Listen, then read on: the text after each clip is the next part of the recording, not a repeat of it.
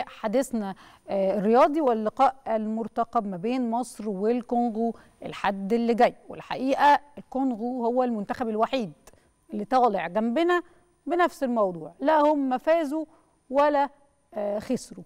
تعادل زي مصر صعدوا بنفس الطريقة تقريبا لدور 16 دون تحقيق أي فوز أو هزيمة.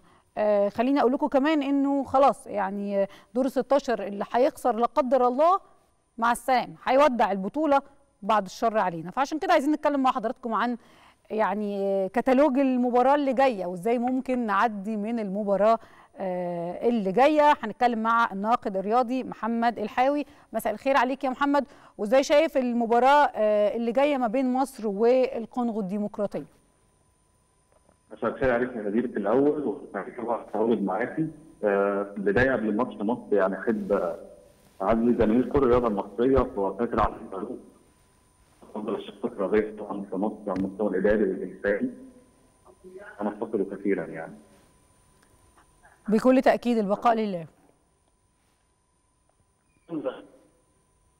محمد أنا بسمعك بصعوبة فلو لو لو يبقى الصوت أوضح.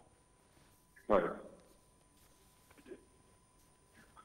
كأس الأمم الأفريقية ودور ال 16 ومباراة مصر والكونغو الديمقراطية الحد اللي جاي. وخليني أقول لكم إنه المنتخبين اتقابلوا آه تقريبا 12 مباراة قبل كده. منهم 8 آه مباريات رسمية وأربع مباريات آه ودية. الفراعنة فازوا في 8 مباريات وخسروا مباراة واحدة والتعادل آه كان في ثلاث آه مباريات.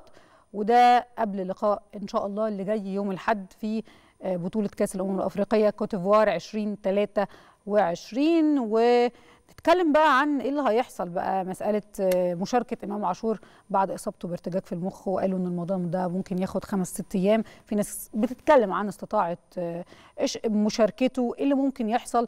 مروان عطية وأداؤه مع فيتوريا والكلام الكتير اللي حصل عليه ومسألة عدم إشراكه من البداية أصلا مع المنتخب. خلينا نتكلم كده ونرجع للناقد الرياضي محمد الحاوي اللي رجع لنا تاني على التليفون. محمد مساء الخير عليك. ويعني إحنا طبعا لو كان في مشكلة في الشبكة خلاص اتفضل يعني إحنا كده سامعينك. يعني إحنا تلقينا ست أهداف في ثلاث مباريات. أعتقد الصعود م. كان بالعافية. فيعني وضعنا إيه في المباراة اللي جاية؟ ويعني ممكن لأنه كلنا قاعدين على قلبنا بقى خلاص. دور ال 16 لو لا قدر الله خسرنا إحنا بره.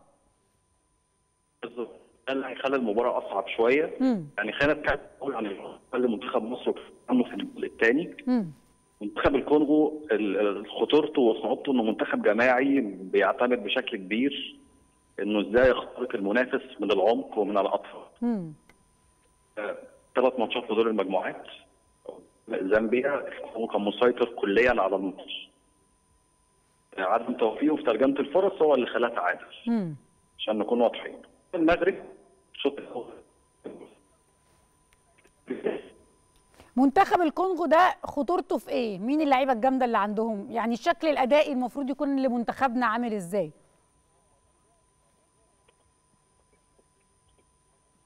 محمد أنت سامعني؟ نص آه أنا اتفضل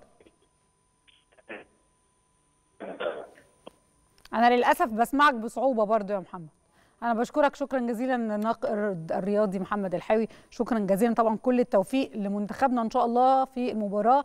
الحد اللي جاي نشوف أداء مختلف يليق بدور ال 16 نشوف آه كمان نتمنى إن إحنا نشوف إمام عاشور آه يشارك بإذن الله آه في البطولة. ونتمنى له السلامة قبل أي شيء.